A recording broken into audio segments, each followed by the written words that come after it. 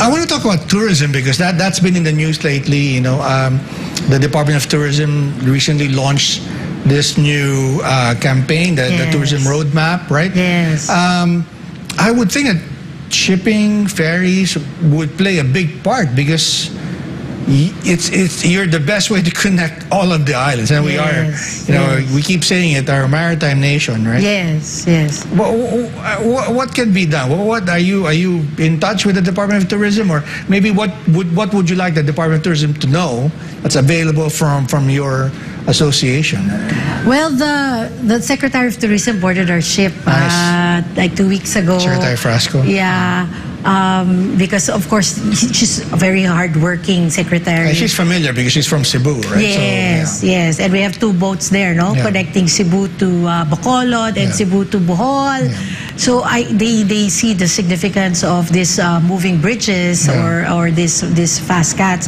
So uh, there's so many beautiful islands, di ba? So if we just uh, go to one island, there are many options. You can drive all the way from Manila uh, along the nautical highway to see the Philippines. It has its own value because then you stop in different islands, you eat in different restaurants, and you know see different views. Um, but you can also do island to island, like Sure. Mindoro to Caticlan, or Bacolod, Iloilo, or Right. Cebu, Bohol. Right. Um, because we have so many beautiful islands talaga to explore and to experience. And yeah, I guess, I guess, can I invite your uh, viewers to please try the Roro network and Yeah. see for yourself uh, how beautiful our islands are and how convenient it is right now to see the islands. What are the, the biggest misconceptions about, you know, for, for people who may not have traveled by by ferry, what are the biggest misconceptions about traveling by sea? I actually did like a focus group uh, discussion on that and I asked Okay. her, nakasakay ka na ba ng barko? Have you ever Yeah. taken a boat? I go, I know because it's not safe. Yeah. You know, or, or we, you know, we, we're not proud of this, but we Yeah. hold the highest record of uh, maritime deaths on Yes. uh, peacetime and this is Yeah. Doña Paz, no? Yes. So yeah, people have the notion that it's it's not safe. Yes. And you know, um, we have different kind of kinds of ships in the Philippines. No, it's Yes. not naman regulated. No, so Yeah. there are old ships, new ships, wooden ships, Yeah. uh, steel, uh, steel. So it's different. So so one would be safety, the safety Okay. issue, and of course uh, because of the weather. You have um, different um, tides uh, and, and condition. Right. So some people are not uh, riding the ships because uh, They get know, seasick. They get yes, they get Okay. uh, seasick. Uh, but yes, but what I can say, it's a highly uh, regulated industry. Um, we are regulated by our Marina, Coast Guard. Uh, make sure that it's every trip is uh, Right. Uh, inspected and checked. But is that why you chose the catamaran style? Because I mean, that, I mean that seems more comfortable, Yes, right? it's more stable, yeah, yeah. Than rather than the you know The monohull. the monohull ships. yes. Is that is that why you picked it? Uh, Oh yeah, definitely. okay. The design, no? That's why we always say it's uh, designed also for the Philippine waters. We consider that. Okay. Um, the, the design has a big, big thing, you know, big thing contribution to the safety Right. of the ship. So when we were thinking about this business, we thought about the Filipino. You know, we had the Filipino in mind. So the, the kind of travelers that we are, Right. maraming bit-bit.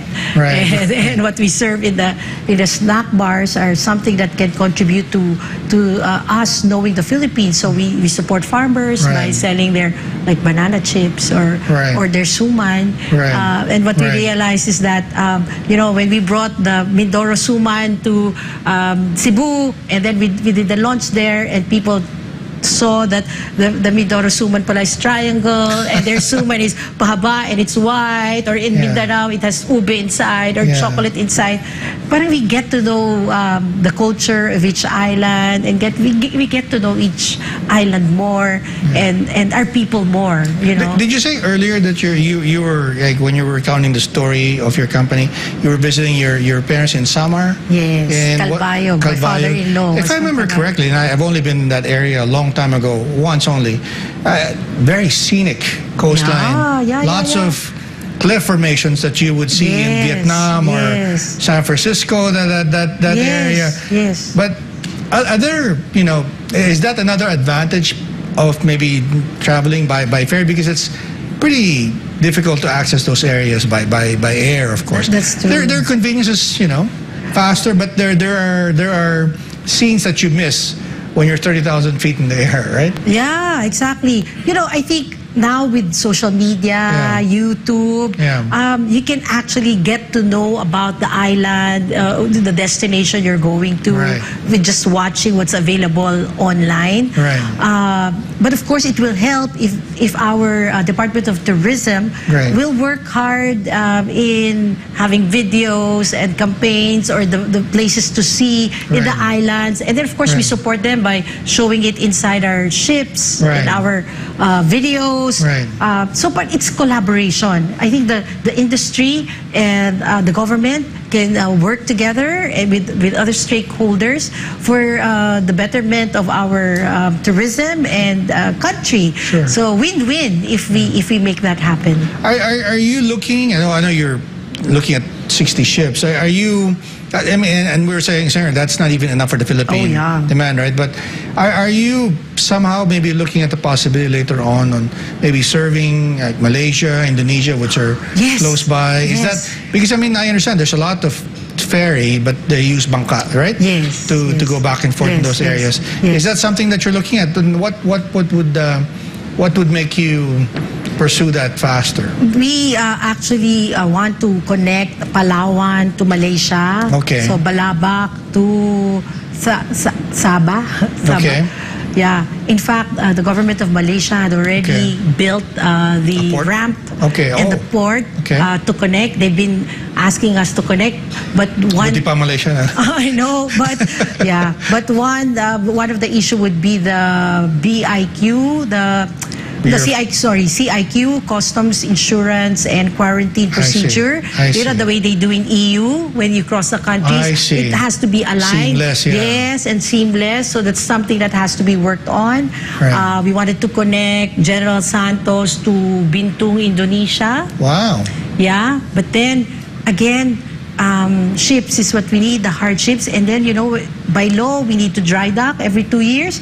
And the dream of really meeting the dry docking goals is kind of difficult because now we have to import parts. Uh, Okay. So many things outside our control. Right. So, like, systems again. Then, if you have ships, you need to have the steel industry, you need to have shipyards, you need to have certified welders Right. and all of them are abroad. Right. so you know these things. This this has to be aligned Right. so that we have a smooth implementation and then a stronger industry.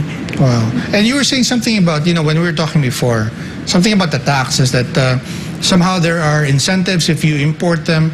Yeah. But if you buy locally, then you have to pay the tax, which is Yeah. kind of an odd. Is, is that is that uh, an yes. accurate recollection of what you're Yes, saying? we have raised that to uh, Okay. our regulator, Marina. Okay. So when you import a ship uh, made abroad, Okay. you get to import it tax-free. Okay. Uh, but when you build it here in the Philippines, all your inputs That's have 12%. to be taxed. yeah. Oh my goodness. Have to okay. be taxed, no? Okay. So so we're saying, oh, what do we Doesn't do make here? sense. Yeah, but so, so it's like you're encouraging people to import Right. rather than build it here. Right. Like so, I, I was telling you that my, our two sons are studying um, in Maritime College in uh, New New York. Right. And uh, what I found out is that you, how the, the states really grew their maritime industry is that they have an act, the Jones Act, that says all the ships plying the, the U.S. uh, territories must be built in the states. Wow, wow. You know, all of these issues, I feel like I'm drowning a bit because there's so many things. But if there were just, you know, a, a couple of things that need to be addressed first, right?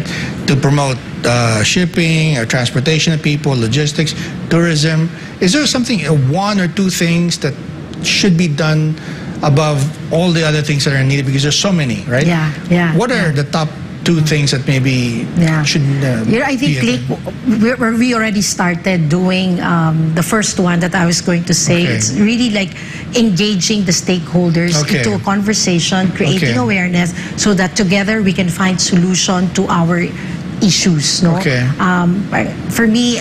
I don't want to spend negative energy on Yeah. on like crab mentality Sure. or all those negative We can things. complain about bureaucracy Exactly, and yeah. politics and corruption, but Exactly. I don't want you, that you anymore. decide yeah. to be positive. Exactly. Like I don't want to spend energy Okay. doing complaining, but rather finding the solution. Okay. And how do you find that when you get the industry together and Okay. let's talk about our issues and then together let us find a solution. And I don't know if you noticed that recently there has been a lot of um, maritime um, Yes. um, con- conferences. There's a maritime forum at the beginning of the year. We had our own, of course, a couple of months ago. Yes, Yeah. like there's Philmarine and there's So Expo you, you Philippines. think that the tide is turning? There's more attention Yeah. I think uh, that's helping a lot. Okay. Um, getting the industry closer, not to fight, but to to have one uh, solid stand and uh, Yeah. find a solution.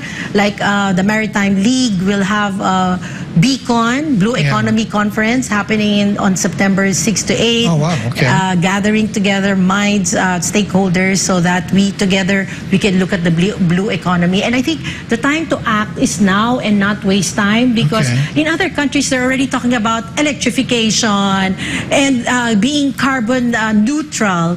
Um, and where are we? Where are we as a nation? So yeah, one, if you're asking me about two things, that's one, uh, getting the conversation, finding solutions uh, to, to whatever we're doing, and creating awareness. And I think, yes, uh, can we get the conversation on anytime maritime going? Let's think about maritime. And then, of course, that um, all the, the support that the maritime industry needs, uh, design of ports, Yeah. um, yeah, the allied industries to support, whether it's education, steel, uh, sana mar- ma- I hope, Training, yeah. I- training. I hope Marina uh, finds that um, the solution on the incentivization of building ships in the Philippines, banks to support um, this because this is an infrastructure project. So yeah, I think uh, th- that would be it. Well, you know, you know, I, I, I invited you back because there's so much stuff to discuss. Now I feel frustrated because I, I feel like that we just scratched the surface. Iceberg But, pala. but Ma- Ma- the iceberg. Thank you very much for your Thank time. Before we go, maybe you'd like to leave a, a message for our audience. Yeah. Uh, maybe give them a short message. Thank you very much for giving me this time to talk about maritime and uh, and, and giving us the attention that that we need.